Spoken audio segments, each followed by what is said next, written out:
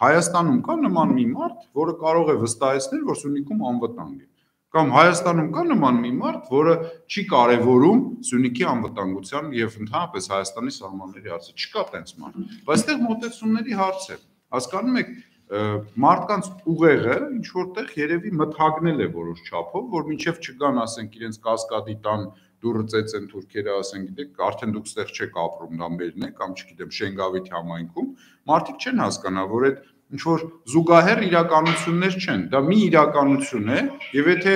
նույնիսկ մի քանի ժամ մի քանի ժամ մեքենայով հետ գնաս, դու արդեն հանդիպում ես իրենց, այսինքն իրենք արդեն զինված կանգնած են քո սահմանին։ Եվ դա ուղիղ ուղիղ պատճառ է այն դեպքերի ու այն քաղաքական գործընթացների, որը տեղի ունեցել 18 թվականի գունավոր հեղաշրջումից հետո։ Այսինքն մարդիկ բերել են իշխանության մի խունտայի, որը օր ու գիշեր միայն հող է տալի։ Հող է տալի, Հայաստանի հեղինակությունն է տալիս, չգիտեմ, ռեսուրս է տալիս, ամիշ տալիս է, ինքը մենակ տալիս է։ Եվ այսքանից հետո խոսելով որ հասարակության իներտությունը ինչ պետք է լինի, այո, շատ ան անադեկվատ, հա, ասենց ասեմ, վիճակ կա, որովհետև շատ մարդիկ այսօր ուղղակի երևի չեն գիտակցում, մթակնել է ուղեղները, թե ինչ որ пассив sense ինչ որ բանի ապատիկ վիճակում են գտնվում, չեն հասկանում, որ այո, վաղ գալու են իրենց դուրը ծեծի եւ ասեն գնացեք ստեղից։ Մանավանդ Ալիևի այդ հայտարարությունները եւ իրենց 44 օրյա գործողությունները եւ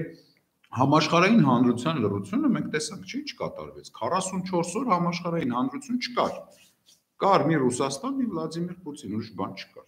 Այսինքն մենք այսքանը տեսնելուց հետո մի հատ էլ մեզ հարց չենք տալիս, բա լավ, վաղը որ Սյունիքը, չգիտեմ, ինչ որ բան արեցին։ Այսօր մամուլում արդեն շրջանառվում էր, որ Դավիթ Բեկ գյուղի այդ 21 կիլոմետրանոց հատվածի վերաբերյալ կա պայմանավորվածություն, որ պետք է շրջանցիկ ճանապարհ մերոն կառուցեն եւ արդեն այդ սահմանները հա վերագծվի։ Հիմա ես չեմ կարողանում ուղակի պատկերացնել հայ ժողովրդի հոգեբանությունը։ Սփյուռքի հարյուրավոր կառույցների այդ հայրենասիրական պորտքումները, որոնք տարիներ շարունակ հայրենասիրությունից են խոսում, հայրենասիրական երգեր են երգում, միջոցառումներ են կազմակերպում։ Բալավ, այն ժամանակ դուք խոսում եք Վանից, Կարսից, Արդահանից եւ ուզում եք պատմական արդարությունը վերականգնելու համար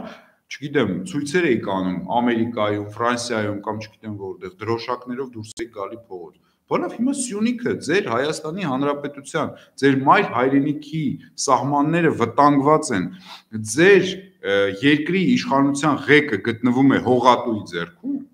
Դուք ցենզուն չեք անում։ Այսինքն, ի՞նչ է ստացվում։ Սա մեր ժողովրդի կորցանման սկիզբն է կամ մեր ինքնագիտակցության ոչնչացումն է ընդհանրապես կամ ինչ որ երևի հոգեբանները ավելի լավ կիմանան, ինչ որ մի этап է, որ մեր ժողովրդի հոգեբանությունը ուղակի աշխատում է ի օգուտ մեր թշնամիներին։ Այսինքն մենք չունենք այսօր հնարավորություն իմունիտետը մեր այնքան է թուլացել, ինչպես մարդու օրգանիզմում, երբ որ